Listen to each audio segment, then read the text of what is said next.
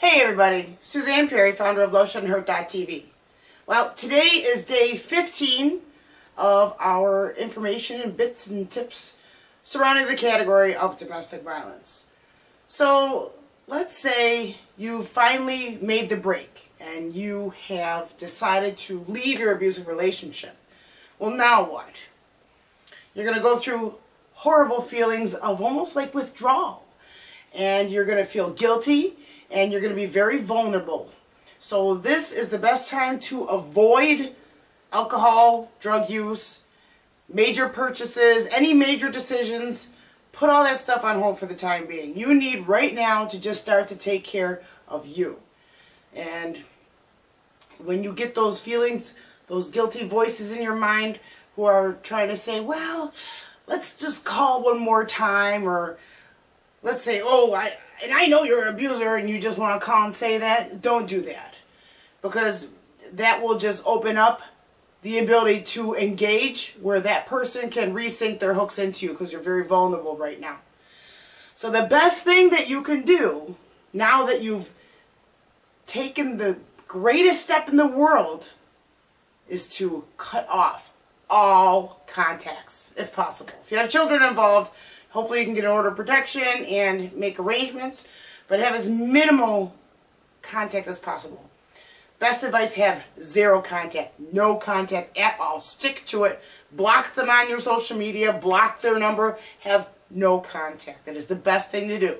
And it is going to be just like breaking a drug, a drug addiction. So for every hour and every day that you didn't give in and you didn't feel guilty and you didn't call them or you didn't stalk their Facebook page, give yourself a pat on the back. Good for you. Keep that going. Just keep it going because each day you're going to get stronger and you're going to start to uncover yourself. And then you're going to be able to look back at that relationship and see it for what it was, not healthy. So trust me, it will get better. And there will be times that you feel weak and you are going to want to give in. But please, don't go back. Fight those feelings to want to talk to them or text them one more time or, or lose yourself in a bottle of wine. Please don't do those things.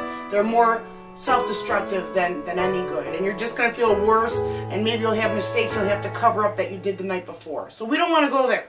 Okay? If you're having these feelings and you don't know how to deal with them, call somebody who is a, maybe a counselor uh, a social worker, an advocate. You could call me. I'm not licensed, but I know what you're going through, and I definitely can help to talk you out of going back, calling one last time, or just any of that one last time. Don't, just don't do it. Odds are, if you engage, they will recapture you. They will promise you the world. You will feel weak, vulnerable, scared, guilty, you're going to go back, and you might not make it out next time. So stay out of the relationship. Call a friend, talk to somebody, read a book, but don't allow yourself to engage with bad activities. Don't get in drugs. Don't start drinking. Don't make any major purchases. Okay, let's take care of you. And we'll do it. I'm Suzanne Perry. Thank you for watching.